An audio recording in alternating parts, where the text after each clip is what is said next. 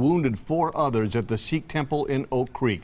One of the people critically injured Oak Creek Police Lieutenant Brian Murphy. He was shot 15 times at point blank range while trying to save others, and amazingly, he survived. And tonight we are honored to have him with us in our studio. Lieutenant Murphy, thank you for being here. Of course, we thank you for your service and, and for the community. And uh, how are you doing these days, uh, not only physically, but also emotionally?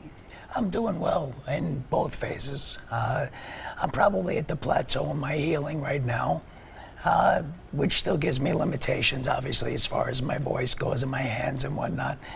And emotionally, I, I feel very good, uh, especially with the support of my family and my wife, the Sikh community, and the city of Oak Creek. All those things have helped me to get uh, better a lot quicker in both phases. You were shot 15 times. Are you amazed that you survived?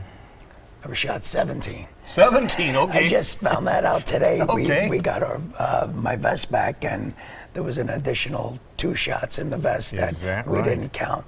So it's kind of crazy when you talk about it to to to actually sit there and say, yeah, I've, I've been hit 17 times, and uh, overall, uh, you know. Things are things are going well, and I'm happy. I'm just happy to be anywhere yeah, here in particular. understandably. Uh, we brought the vest. You brought the vest along. We also have Matt Davis with uh, Armor Express. They, they make the vest. Uh, quick question for Lieutenant Murphy first.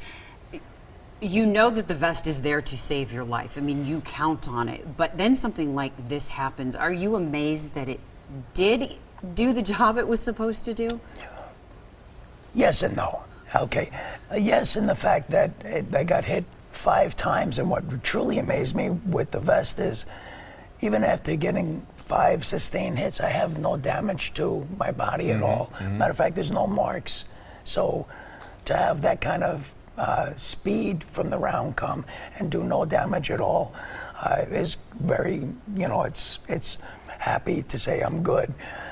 No, because I actually was the one who ordered the vests, and I picked out the best company available, and I picked Armor Express, knowing that their track record and how their vests are very well made. Matt, can you pick this up for us and just point to where the bullet holes are and talk a lot of the makeup of this vest and what it is that saved his life? Absolutely. So this is the front of the vest. You can see down in the left-hand corner here, we've got some arrows that show all the different impact locations of the uh, bullets. Uh, this one down here in the bottom left, um, Very would have hit him right here. yeah, would have hit him right, right there. Probably went, would have went through his kidneys. Uh, this one up here, just a little bit higher, probably, possibly a lung shot there. Yeah, yeah, right- Definitely right- right fatal there. blows. Um, on the back, you can see the cover's torn a little bit. We have a couple up here in the shoulder, and then another one down here, which would have been uh, around the kidney. Mm. And um, you know, kidney shots are not easily survivable. So Well, you brought a you brought a fiber with you. Also, this Yeah. is what we can't see inside the vest. Exactly. So th- this fiber here, this is Twaron uh, para-aramid fiber. It's really the state of the art in high-strength fiber technology. It's five times the strength of steel, if you can imagine that. Uh, it's very lightweight, and this is woven into fabric, which is then, as vest manufacturers, we then layer it into uh, different combinations of materials, and that becomes a bulletproof vest. And as you can see with Brian standing here, he's living testament Yeah. to the fact that it works. Now, you mentioned that you selected this vest. Is this a standard issue or is this an upgraded issue for various departments or how do they decide what to use for their officers? Usually, what, what happens is you uh, you put out bids. You ask for what type of vest that you're looking for, level one, two. This is a level 3A vest. Um, and my chief, who's a big proponent of getting the best equipment to his guys, the vest was slightly more than other bids, but we knew, based on the track record, that this particular vest, the, the Halo vest, is one of the better vests, and that's what we chose. The to- Halo vest? Halo, very, very apropos. So uh, I think if anybody had a halo on, it was definitely me. that day. Absolutely. I'm going to ask you a question you've probably answered a million times, but I, I think that you always want to know the perspective of people who've been through something like this. How has it changed your life? It's you know it, it's funny. It's a very positive thing in as much as I got the opportunity to go a lot of different places, to have my voice heard in, in certain situations.